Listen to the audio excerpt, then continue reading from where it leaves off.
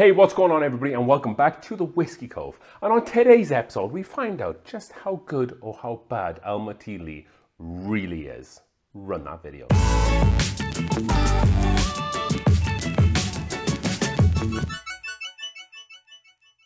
All right then folks, then welcome back to the Whiskey Cove. Thank you friends and allies for joining us for another exciting episode. So on today's episode, we blind Elmer T. Lee against two other whiskies ancient, ancient age and Buffalo Trace single barrels. Why are we blinding them against these two? Well, lately and truthfully, I've been throwing a little bit of shade Elmer T. Lee's way. If you've watched the review, you definitely want to go and watch the Elmer T. Lee review before you watch this video. And I've been saying a lot of stuff. I've also been saying that I think Elmer T. Lee is probably just as good as Ancient Age. Not Ancient Ancient Age, but just Ancient Age. And I think the Buffalo Trace single barrels are better than Elmer T. Lee. Bearing in mind, Elmer T. Lee, yes, MSRP 40 and $50, however, very hard to find, where these two are probably a lot easier to find there. So what I want to do, because I kind of believe, I kind of believe in the scientific method a little bit, and I hypothesize, I hypothesize that Elmer T. Lee is not as good as these two. And we're gonna blind that hypothesis. I'm gonna find out for real. Is Elmer T. Lee worse than Ancient Ancient Age and Buffalo Trace single barrels? Yes, we could have done regular Buffalo Trace, but Elmer T. Lee is a single barrel. So I wanted to do another single barrel against it at least, which is why we went for the Buffalo Trace single barrel. So what single barrel is this? So this is from Argonaut Wine and Liquor down in Denver, Colorado. I didn't pick any specific barrel. I have a bunch of these and I just picked the first one. Uh, so I try to be as unbiased as I can. I didn't, like I said, I have a bunch of them from different stores and this is just a random one that was pulled. So what we're gonna do, uh, we're gonna get these whiskey into glasses and then I'm gonna mix them up and then I'm also gonna have my wife mix them up as well. We're gonna do this double blind. So what does double blind mean? So just a regular blind is I will put them in the glasses and then my wife will mix them up after seeing me put them in the glasses. So she will know the order. But what I'm gonna do, I'm gonna put them in, mix them up first so that she doesn't know which one is which, and then she will mix them up again. So let's get these whiskeys into glasses and then we'll get them mixed up and then we'll come back. All right then folks, and we are back.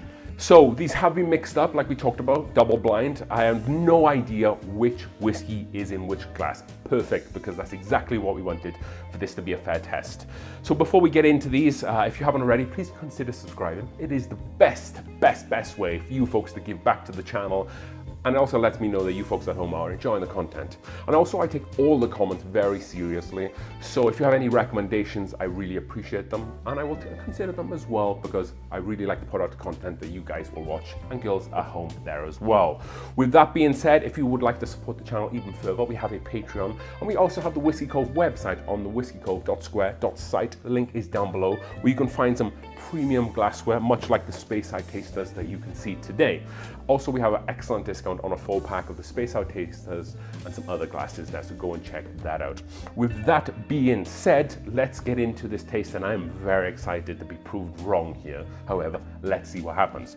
So I think we will go from your left to your right, and this is going to be glass one, two, and three. I have the answer key firmly in my pocket because I have a habit of forgetting the, where it is. So we have it already. Like I said, I have no idea which glass is which and which number is correlated to that whiskey. With that being said, and with all the talking, let's get down to business. Glass number one. I'm not going to look at color. Uh, because I, sometimes when I uh, look at different colors of whiskey, it can lead me in a different direction. So we're just going to go nose, palate, finish.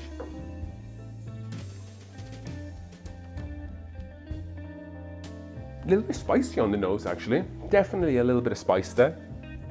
Kind of getting some, uh, like a red, red pepper spice. And not a red bell pepper, like, you know, sometimes when you have that pepper shaker, uh, and they have like a bunch of, like a medley of different peppers, it's those kind of like red ones. Because they almost have like a little bit of fruitiness to them. That's kind of what's in here. Definitely like a bit of ice cream vanilla in there as well. And maybe green apple and cherry. They are the two major fruits I get from Buffalo Trace products, and these are all Buffalo Trace products. They're all made by Buffalo Trace down in Frankfort, Kentucky. It's a pretty good nose. There's not too much going on there, but what it does, it does okay. They're pretty balanced between the sweet, vanilla and spicier notes. Okay then folks, well actually there's not much wood presence here. And there's a touch, touch of ethanol. Let's go in for a taste, glass one. So immediately, what do I get on the palate? I definitely get some spice, that's the first thing, and I definitely get some heat, which lends that Kentucky hug as it goes down towards the finish. There's, like I said, I wasn't really picking up any wood on the nose, but it's definitely there on the palate. The palate's a little thin. There's not too, there's not much sweetness with this one. It's more of a drier, leathery experience and maybe like a tobacco note, like a chew-in tobacco note with that spicy note there as well. There is a somewhat decent coating on the mouth there as well, which sticks around with the spice quite well and that wood backbone. But it's not very sweet. You don't really get some of that caramel, burnt brown sugar, uh, barrel char notes with this one. It's kind of more about the wood. And again, a little bit of that heat definitely comes through. Let's go in for another taste here. I'm not really picking out any cherry, any apple on the palate. Like I said, it's a very dry palate. I wish it was sweeter. I wish it was more balanced. It definitely leans towards a drier, thinner whiskey. So far, kind of par for the course of what I was expecting with these whiskies. So then let's cleanse the palate and move on to glass two here. So to cleanse the palate, we're just using water and we're putting it into the Whiskey Cove Premium Rocks glass you can kill someone with this glass. It's a proper rocks glass, perfect for a circular ice cube in an old fashioned, that's for sure. Let's move on to glass number two here. This is a lot, a lot different. So much different than glass one. It has like a, um, it has like a, almost like an orange dreamsicle note there. That vanilla and then a touch of uh, citrus. This is a very, very pleasant nose. There's definitely a little bit of uh, spicy undertones there, like a rye spice undertone.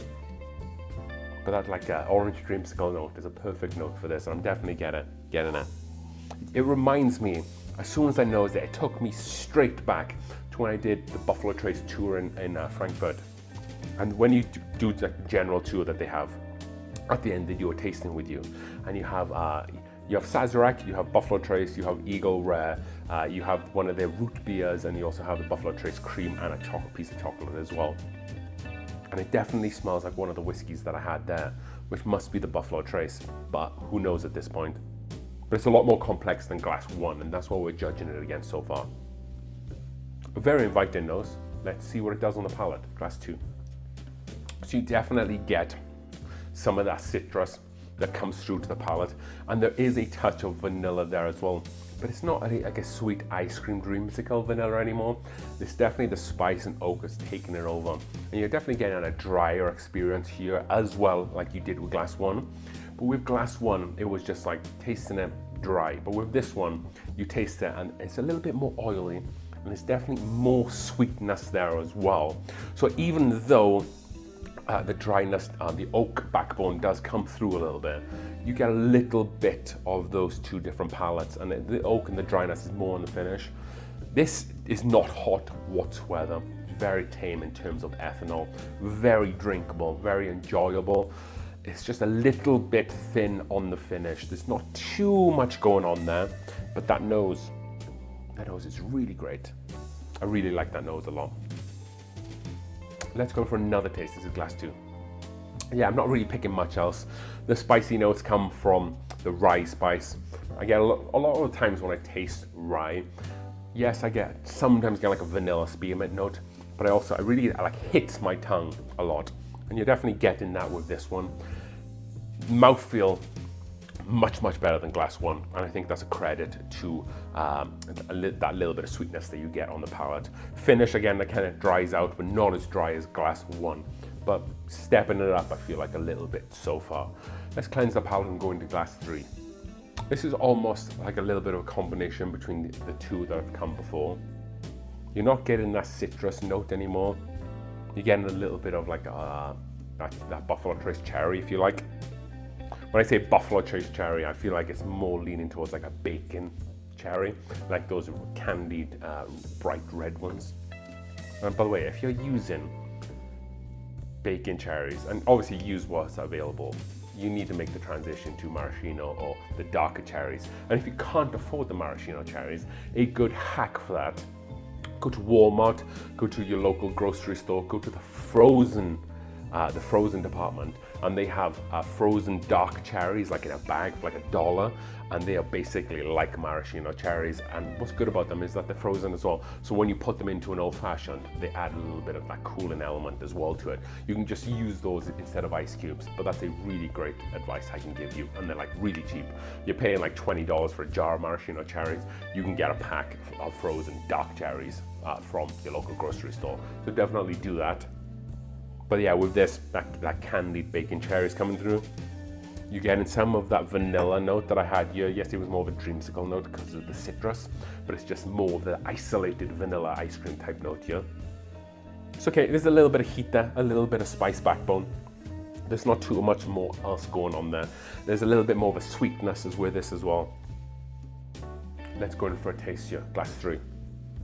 So much like glass two, it's definitely an evident sweetness up front.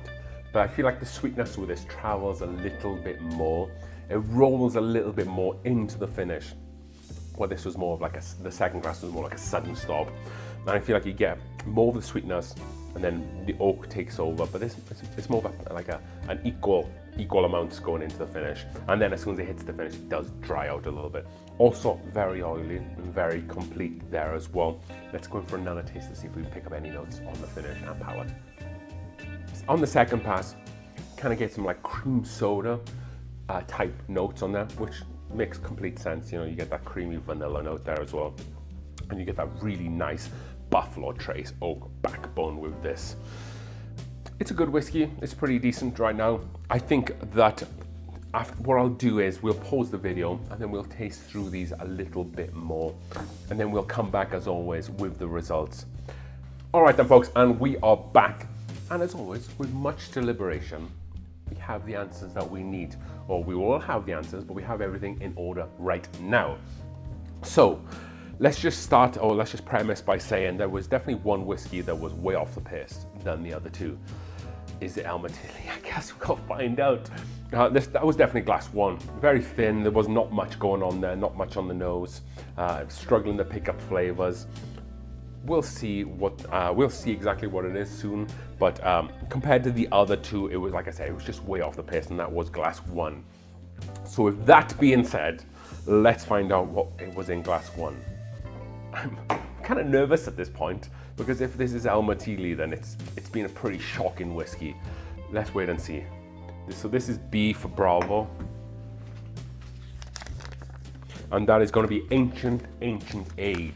So I said in a previous video that I felt like Ancient Ancient Age was better than Elmer T. Lee that was a broad statement uh, that I guess I need to apologize right now because today has revealed that it is not better than Ancient Age because that was way off the pace. So that was, like I said, glass one, Ancient Ancient Age, which is just a little bit thin. I've drunk this a lot as a daily sipper and maybe it's just because it's just that. It's a little bit thin, I can drink it at any time. However, today, it, it just was nowhere near these other two. With that being said, we have two left. I hope, I kind of do and I don't want Elmer T. Lee to win. I do want it to win because I have two bottles and it's, you know, people try to look for it and it's a cool story. It's a good whiskey, apparently. Uh, but then I, I also want Buffalo Trace Single Barrel to win because I have a bunch of them and I've always said that Buffalo Trace Single Barrels are some of the best value for, uh, for money that there is in whiskey. With that being said, Glass 3 was second place. And it was second place because I felt that I had an equal palate to Glass 2, but Glass 2, that nose is just so, like that orange creamsicle note is just so inviting and I can nose this for quite a while. So I guess let's find out what was in glass three. And that is gonna be C for Charlie. and that is Elmer T. Lee. Come on! I predicted it. I guess that, you know, I wanted Elmer T. Lee to do well, but didn't, and it came in second. So does that answer some questions for us? And let's just make sure we have everything because glass one is going to be A for Alpha, and that is Buffalo Trace Single Barrel. So yes, Buffalo Trace Single Barrel, like I said, excellent value for money. What you need to do at home, folks, is that you need to stop chasing Elmer T. Lee single barrel. I cannot say this enough. It is not worth the hunt. It is not worth paying over odds. Just get yourself a Buffalo Trace single barrel. I'm really excited because I've just uh, it's, it's come true what I predicted and I didn't want to look like I had egg on my face because I try to bring everybody home the real results and stuff so I'm never to like re-record or do some other funky stuff I will always put out the content that I record just so you folks at home know exactly what's going on. You know exactly what my pal did. There is no BS here. So it's Buffalo Trace single barrel that takes home the victory today. And Elmer T. Lee was okay. I, it, the nose was a little better than I remember it to be during other blinds and uh, doing the review. Uh, well, I say the nose, the palate, sorry. The nose was just okay. The palate was a little better and had more oak towards the finish. So in this blind, it did okay. Uh, the Ancient Ancient Age kind of disappointed me a little bit. I didn't think it would be that bad, but the Buffalo Trace single barrels are today's winner. And like I always, always say, if you see a Buffalo Trace single barrel, you pick it up. 25 to $30 over an Elmer T. Lee any day of the week. And that's why it was in one of the best value bourbons that you can ever get. Buffalo Trace Single Barrel is today's winner. So as we drink through the world's whiskies, one glass at a time, cheers.